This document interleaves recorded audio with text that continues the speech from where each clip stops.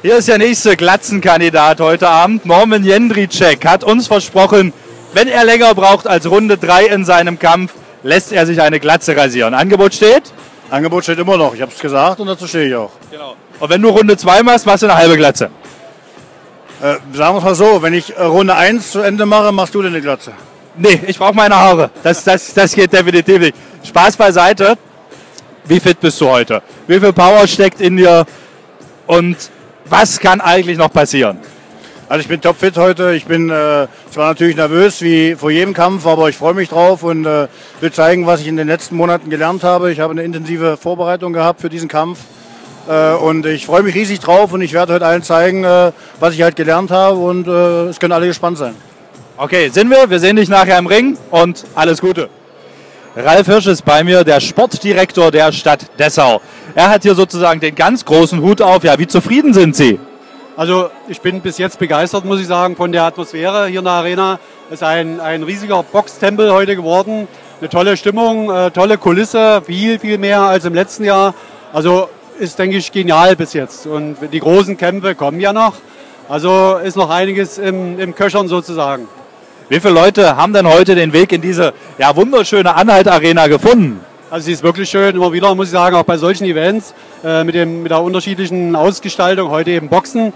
Also äh, die genaue Zahl ist noch nicht, weil die Abrechnung noch läuft, aber es sind, ich kenne ja meine Arena, mein Wohnzimmer sozusagen, also es sind über 2000 auf jeden Fall, vielleicht grob 2200. Genaue, ganz genau auf den Punkt äh, werden wir nachher noch erfahren.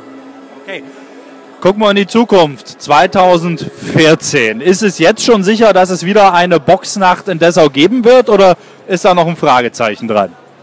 Also aus meiner Sicht, äh, wie ich es heute Abend einschätzen kann, ist kein Fragezeichen. Äh, natürlich werden wir das im Gremium äh, dann äh, besprechen, also mit den äh, gemeinsamen Veranstaltern, also sprich PSV 90, 8M Halle und Sportamt, wir drei.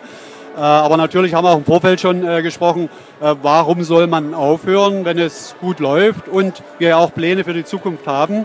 Natürlich müssen sich immer gute Kämpfe anbieten, aber ich denke, das bekommt man auch hin.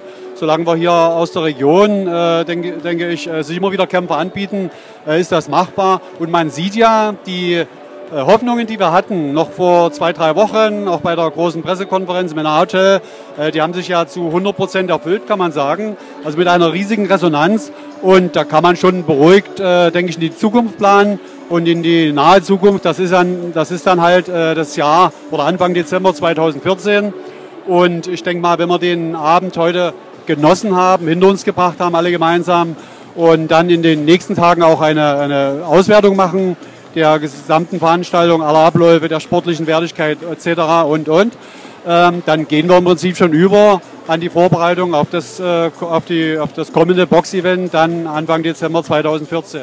Okay. Pascal, herzlichen Glückwunsch, der Gürtel ist seiner. Dankeschön, Dankeschön. Ja, ich bin sehr zufrieden. Sehr, mehr als zufrieden. Ich habe jetzt den zweiten Titel geholt in diesem Jahr. Wie gesagt, ich danke meinem Trainer über alles, weil der sich wirklich für uns den Arsch so aufreißt. Ich würde ohne ihn nicht hier stehen, definitiv. Hast du damit gerechnet, dass es so schnell geht, dass du ihn in der ersten Runde hast? Nein, natürlich nicht. Äh, ich bin davon ausgegangen, dass ich wirklich über meine drei Runden gehen muss, weil der Gegner, ich weiß, dass er gut ist. Ja, äh, es war einfach Glück. Hat Glück dazu gehört. Ich habe die entsprechenden Punkte getroffen, die wichtig waren. Es war ein Lebertreffer. War die Luft raus. Das hätte mir genauso passieren können. Also. Wo kommt er jetzt hin? Wohnzimmer?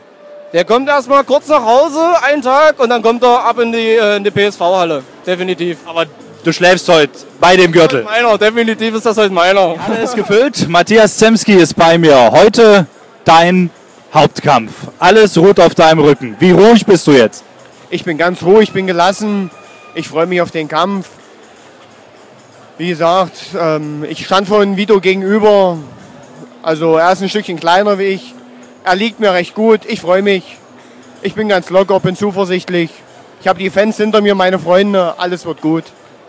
Wie ist das, wenn so, ich schätze mal geschätzte 300 Leute jetzt über den Daumen hinter einem stehen und für einen jubeln werden? Gibt einem das auch vor dem Kampf schon richtig Kraft? Ja klar. Also die, der Kartenverkauf lief ja richtig super in Köthen. Viele Freunde und Fans. Wir haben fast 400 Karten verkauft. Äh, die feuern mich an, die unterstützen mich. Wir haben zwei Fanblocks. Alles super.